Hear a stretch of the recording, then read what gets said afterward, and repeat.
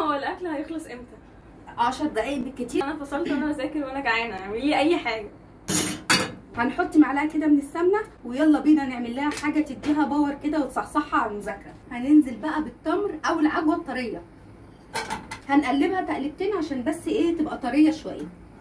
رغيف الفينو طالع عينيه وناشف جدا. هحطه في الميكرويف بصوا ابتدت تطرى شوية.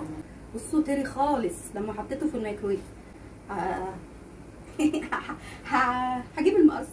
بس سخن جدا طبعا على إيدي. أدي التشويحة هنحط عليها رشة.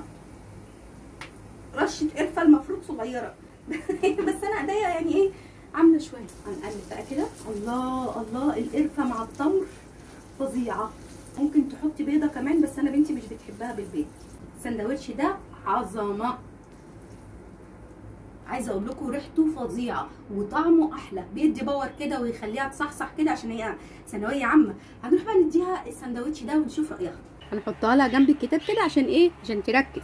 يلا خدي يا حبيبتي.